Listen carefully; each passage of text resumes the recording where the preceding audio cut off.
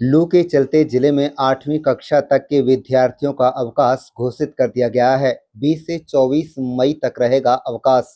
School staff को पहले ही की तरह रहना होगा उपस्थित। आपको बता दें कि भीषण गर्मी की वजह से जनजीवन प्रभावित हो रहा है। नूह के उपायुक्त धीरेन्द्र खडगटा ने आदेश जारी कर आठवीं कक्षा तक के स्कूली विद्यार्थियों का अवकाश घोषित कर दिया है। उपायुक्त द्वारा जारी किए गए आदेशों में कहा गया है कि गर्म हवाएँ लू के चलते ये अवकाश घोषित किया गया है। आदेशों के अनुसार सभी सरकारी, निजी व एडिट स्कूलों में पाल पाटिका से लेकर आठवीं कक्षा तक पढ़ने वाले विद्यार्थियों का 20 मई से 24 मई तक अवकाश रहेगा। ये निर्णय अत्यधिक गर्म मौसम के चलते लिया गया है। ये जानकारी अतिरिक्त उपायुक्त प्रदीप सिंह मलिक ने आज पत्रकारों को दी।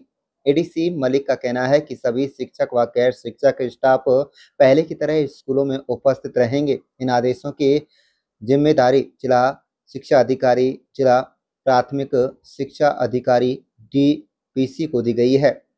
कुल मिलाकर हरियाणा में भीषण गर्मी का सितम जारी है। नूह मेवात जिला उन जिलों में शामिल है, जहाँ सबसे ज़्यादा तापमान रिकॉर्ड किया जा रहा है।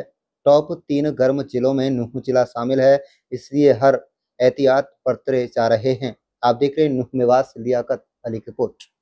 देखिए जो हीट वेव है, उसके संबंध में स्टेट गवर्नमेंट की तरफ़ से भी इंस्ट्रक्शंस आई थी।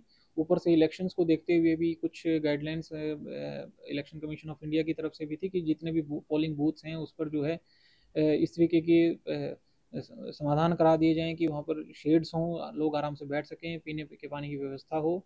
और अगर कहीं पे अगर बैठने की व्यवस्था नहीं है या तो लोगों को धूप में ना खड़ा रहना पड़े तो एटलीस्ट वहाँ पर शेडो या इस तरीके का कुछ चीज़ पर्याप्त मात्रा में करा दी जाए।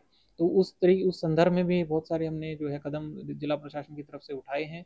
उसके अलावा जो हीट वेव को देखते हुए बच्चों की जो स्कूलों की टाइमिंग्स में थोड़ा सा चेंज किया गया है सो दैट जो हीट वेव से होने वाली जो परेशानियाँ हैं, उससे जो है बचा जा सके। शिक्षक ड्यूटी देने वाले अधिकारियों और कर्मचारियों को मतदान सुविधा के लिए लघु सचिवालय में केंद्र बनाया गया है।